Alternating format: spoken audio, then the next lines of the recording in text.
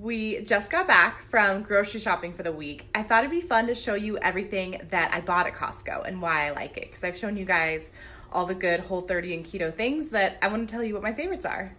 So here is my haul for the week. I also got paper towels and toilet paper. I have to go put them away.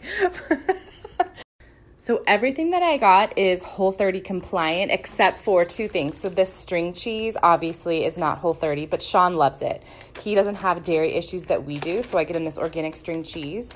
And then this salami, it is a great clean eating salami, but it does have dextrose in it, which is a sneaky word for sugar. But it's such a small amount, like keto wise, it's like zero carbs. So I'm totally okay eating this when I'm not on a whole 30. The kids love it and Sean loves it. It's like no nitrates or anything. Fruit is great for Whole 30. It's allowed, but it isn't the best for keto because fruit has more sugar in it. So I got these are for the kids. So I got organic blueberries and organic grapes that the kids will snack on.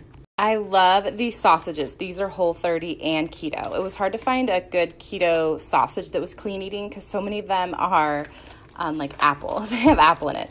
This one's great. So I'm going to use this. We're going to make a sheet pan, my sheet pan sausage and veggie dinner. So one night we'll have this for dinner and then I'll have the leftovers for lunch after. I got avocados. They're always like rock hard when you buy them at Costco, but I buy them every week because a week later they're perfect.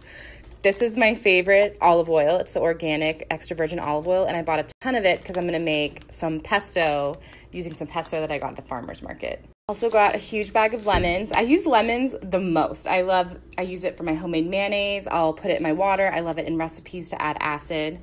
I got this uh, organic coconut milk, canned coconut milk that is whole 30 and great for keto. I've been using this the most in my creamy cashew coffee to add a lot of fat. I've been eating it iced, and so rather than using butter, I've been using coconut milk. So I've been going through a ton of this and I love it. It doesn't work to make coconut whipped cream though, it's too liquidy.